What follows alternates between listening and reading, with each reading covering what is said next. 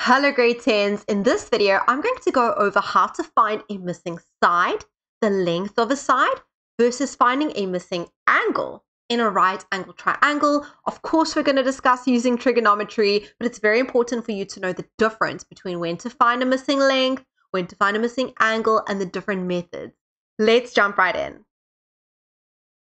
If I have to give you these two situations that you see on the screen, okay, situation number one, how do I find that missing side? Situation number two, how do I find that missing angle? I really hope that you can give me an answer for both of these right now. Even if you're brand new to trigonometry, you don't know what it is, you've never done it before, you're in grade 10 basically. How do you find the missing side? Let's go over it. Let's look at the first triangle, triangle ABC on the top. If I had to give you that triangle right now and I had to say, please find me the length of the missing side for triangle ABC, in other words, find me the length of AC, how will we do that? Well, we mention it's a right angle triangle. Yes, we have the length of the other two sides. Great. So I hope that you're all screaming at me that we can use Pythagoras because we can. If we have a right angle triangle and two out of the three sides, we can immediately use Pythagoras. And we want you to immediately use Pythagoras if you're able to use Pythagoras. So there's a little bit of something you need to look out for. And you're like, okay, cool, ma'am. We know Pythagoras. We know how to do it. Let's just go over how to do Pythagoras. In this case, we're looking for the hypotenuse. So we go AC squared, everything in Pythagoras, you need to square it, all the, si- the length of the sides. We go 4 squared plus 3 squared. If you're looking for the hypotenuse, if you're looking for the long side, you must plus. If you're looking for one of the short sides, you must minus. So basically what you're going to do is you're going to square root 4 squared, which is 16, plus 3 squared, which is 9. You're basically square rooting 25, which gets you 5 centimeters or 5 units. And you need to write a reason for me, Pythagoras. Easy stuff. Again, you might be thinking, why is ma'am saying this to me? We're trying to do trigonometry here. I will get there. Just follow me.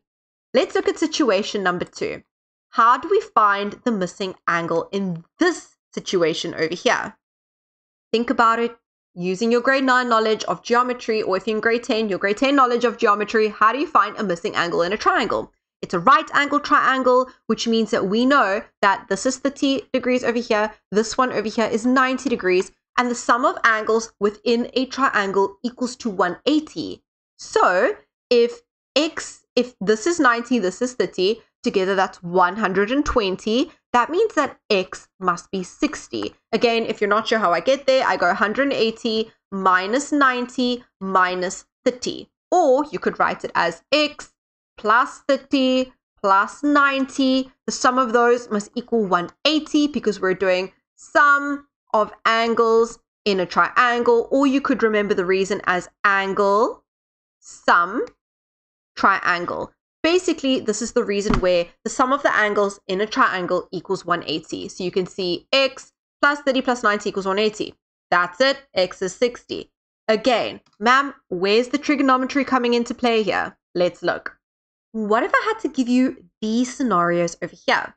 So, starting on the right hand side, if I had to ask you to find the missing side, can I use Pythagoras? No, I only know one of the sides. I only know the seven. Over here, I'm asking you to find the missing angle. I've called the missing angle x. Can you use sum of angles in a triangle equal to 180? No, because although I know one of the angles, although I know that this is 90, I don't know what this angle is, so I can't use that angle sum triangle. So how do I do it? Can't use sum of angles in triangle, can't use Pythagoras, we're gonna have to use trigonometry. Now, if you missed my previous video on the basic trig ratios, you're going to want to go watch that video first, but you need to remind yourself of SOHCAHTOA, SOHCAHTOA, and that's just to remember the different trig ratios. Sin is opposite over hypotenuse, cos is adjacent over hypotenuse, and tan is opposite over adjacent. You need to go over that first in order to carry on with this video. So how do I do this? Again, we're going to have to use trigonometry. I actually want to start on the right hand side over here with finding the missing side. We're going to use trigonometry, use our trig ratio. So we're looking for x. What we do is the following. Look at what we have, look at what we're looking for. So we have this 40 degree angle over here. we also have this side over here that we're looking for, and we have this side over here that we're given. Now, because I'm working with the 40 degrees that I was given, ask yourself the following question What is the seven units relative to the 40 degrees? And what is the x relative to the 40 degrees? What I mean by that is the following. Look, it's a right angle triangle. Let's label it just to make it easier. A, B, C. The seven, what is the seven in that right angle triangle? If you've watched the previous video, you should all be shouting at the screen right now that the seven is the hypotenuse. How do we know that? The seven is opposite the 90 degrees. Okay. Always, always, always opposite the 90 degrees is the hypotenuse. But now, looking at the 40, I'm looking for x. Is x opposite the 40 or is x adjacent to the 40? I hope it's clear that x is opposite the 40. So if I want to use 40 as a angle, which I do want to use 40 as an angle in order to help me find x, I need to use something that has opposite and hypotenuse in it. So which of the three trig ratios has opposite and hypotenuse in it? I hope you're saying sin or sine. That has opposite and hypotenuse in it. So what we need to do is the following. I want you to do this. So you're always going to write your trig ratio that you decide on. So because I'm looking for opposite 40 and I have the hypotenuse, we're going to use sin. So you go sin 40. Remember this, it's always trig ratio and then the angle. So what I mean is it's either sin, cos, or tan. So the, the one of the three trig things that you've learned, sin, cos, or tan. And directly after that, directly after sin, comes the angle. Directly after cos comes an angle. It's always like that. It's always either sin, cos, or tan in the angle. So sin and then the angle. This is the angle 40. Now remember, what is sin equal to again? Sin of an angle is equal to opposite over hypotenuse. The angle that I'm using is 40. So what is opposite the 40? X. What is the hypotenuse of this triangle? 7. Right, we're on track here. We're almost getting our x. Now, how do you solve for x? Like a normal equation. We're looking for x. On this side, we are dividing by 7. If I take the 7 over the equal sign, we're going to do inverse operations. It's going to become multiply by 7. The opposite of divide by 7 is multiply by 7. So it's 7 sin 40 equals x and therefore x is equal to, you grab your calculator, grab your calculator, type in 7 sin 40, just like that on your calculator. 7 sin 40, press equals, and I get 4 comma 495. 4 comma 4995.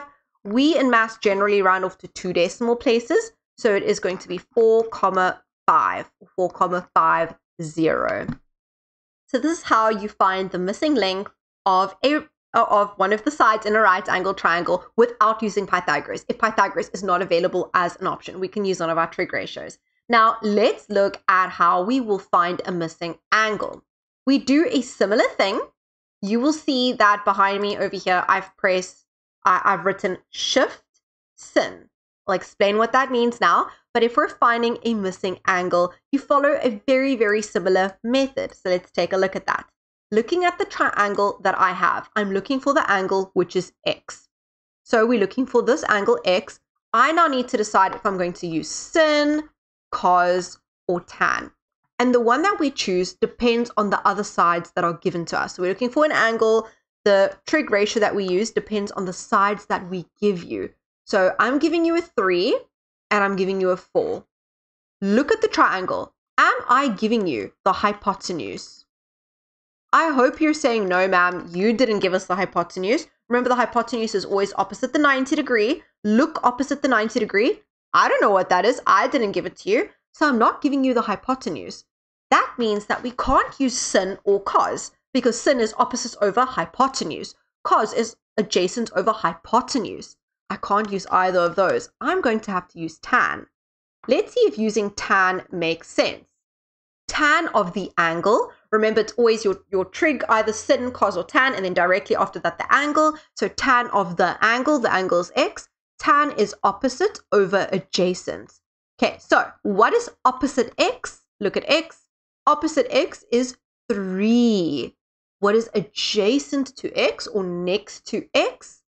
4. So tan of x is equal to 3 over 4. We have the opposite, we have the adjacent, that's why it makes sense to use tan. But now we're trying to find the angle. Now, the reason I wrote shift sin over here, I just used sin or sine as an example. If you're working with cos, it'll be shift cos. If you're working with tan, which we are, it'll be shift tan. Basically, what we do in order to find the angle, and you always do this if you're looking for the angle. Remember, the angle is the thing that comes right after sin, cos, or tan. So right after the, the, those one of those three words, that thing is the angle. If I'm looking for the angle, you take your calculator, you press the shift button. Generally, on the scientific calculators that you guys use, the shift button is this one over here. So you press shift, okay? Then, because we're working with tan, you press tan. Your calculator is going to look like that. It's going to say tan to the power of minus 1. We want it to look like that. So you press shift, tan, and then you type in whatever is on this side of the equation. So in this case, it's 3 over 4.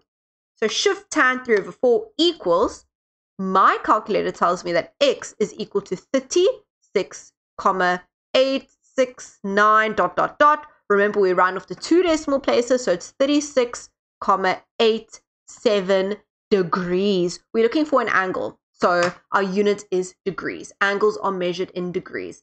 Make sure that your calculator is in degree mode. There should be a little D on the top of your calculator. Right, that is the difference between finding a missing side and finding a missing angle in short. In other videos in this playlist, I go over finding missing sides in more detail. We practice some examples. And in a separate video, I go over finding missing angles. Just remember, if you're finding an angle, you must press shift. If you're finding an angle, a missing angle, you have to press shift. I hope to see you in another trig video very, very soon. Bye, everybody.